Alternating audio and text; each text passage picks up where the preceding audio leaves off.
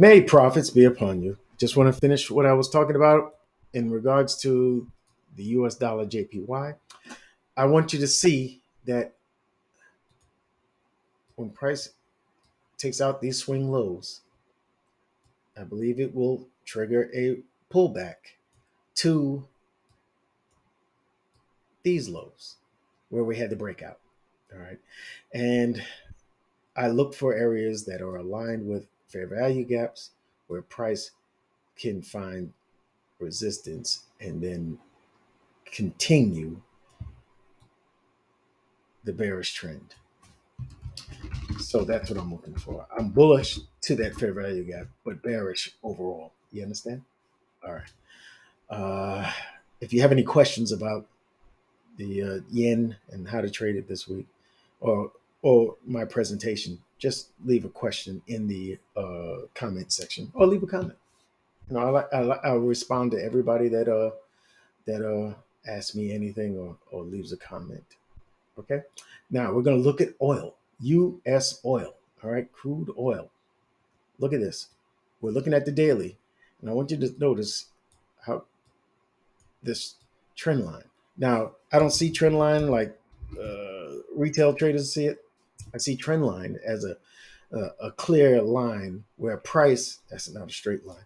All right, uh, where price uh, where traders have taken longs and left their stop losses here.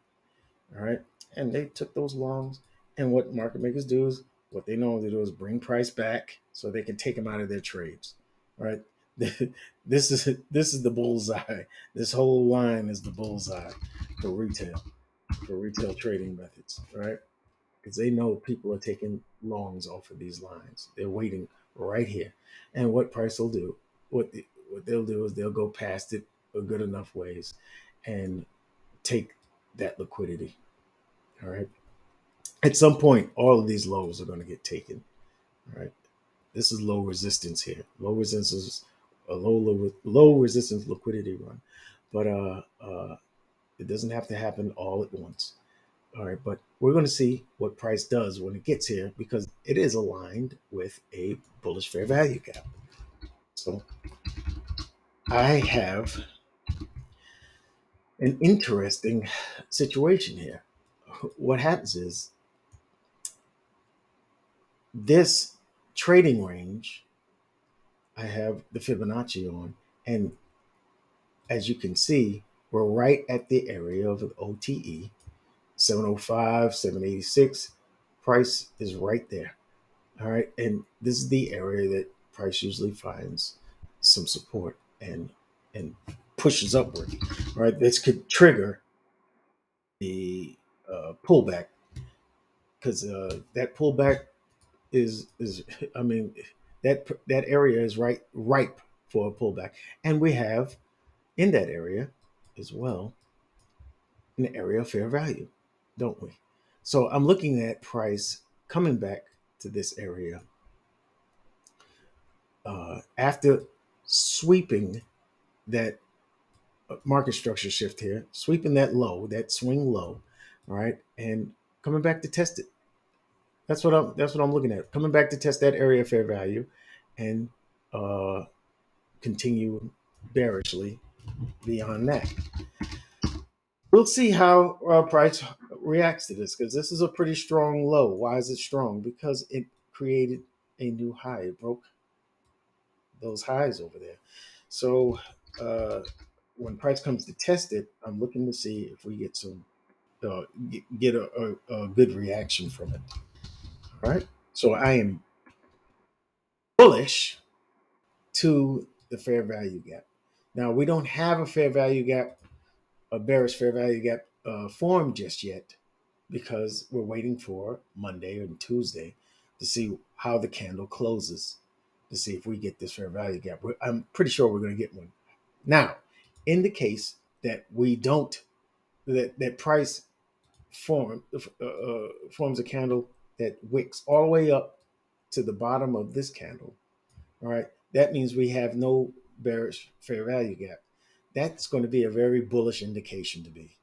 All right, and I'll be looking for price to pull back and I will look in this area, in this in this candle, to see if we get bullish fair value gaps formed. Okay, because then I'm going to definitely look for uh, that supporting structure for the uh, for uh, higher prices, right? And I'll be looking for buys. So uh, Monday and Tuesday is going to be very important. All right. Uh, will price reject from this area of fair value? All right. We shall see. All right. Now, we have a similar situation with UK oil. UK oil. All right. The first first thing I want you to notice that we have uh, SMT here, smart money technique. All right. We have a divergence here. It never took the high when US oil did take that high. All right. Did sweep that liquidity. This is just running a little weaker. This is this is never going to be the leader though. It's never it doesn't lead normally. All right. It's just uh, it follows uh, uh, U.S. Uh, oil. Okay. You see how what is that? Why did that pop up? All right. This this bullish fair value gap here. We still have that same trend line liquidity there, right? And we still have a bullish fair value gap. We still have this swing low here. We still have uh, an area of fair value. But we do have an SMT there. All right. Price could very well do what I'm expecting, uh, come up to area of fair value, and continue lower from there. But there is potential. As you see, I have the uh, Fibonacci retracement tool here. All right. And we are well, we have closed below that 786 uh, Fibonacci level, right? We are testing the low here. All right, if we take this low, if we take this low, that'll be significantly different than uh, the U.S. oil chart. All right, and I, I will definitely be looking for price to uh, pull back, pull back to this area again and then continue lower. This is a weaker market, as you can see by the structure. So, and we are already past that trend line liquidity. You understand? There's a good, there's, this one has enough reason to turn around from here. It doesn't have to take that low. It's already taking a, an external, uh, external liquidity. We've tapped into the internal liquidity here right? Where are we going from here? Price will likely, will likely uh, form a bearish fair value gap here, but we're going to find out on Monday if it comes all the way up to the bottom of this candle. Then there's no bearish, or bullish, uh, bearish fair value gaps, which would be a bullish indication. But uh, I, we'll see how that works out. I think we're going to have a bearish fair value gap here, and I'll be looking for price to hit that bearish fair value gap and then continue lower past this low and we'll see what it does from there. You understand?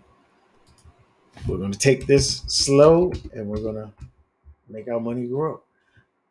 Hey, that's it. That's it for my watch list. I hope you enjoyed the videos. Sorry about the interruption on the, on the, the previous one. I hope I made up for it with giving you some thorough uh, analysis for oil and completing the uh, US dollar JPY, uh, J- Japanese yen uh, analysis. All right, may profits be upon you. I'll see you in the next video and thank you for watching.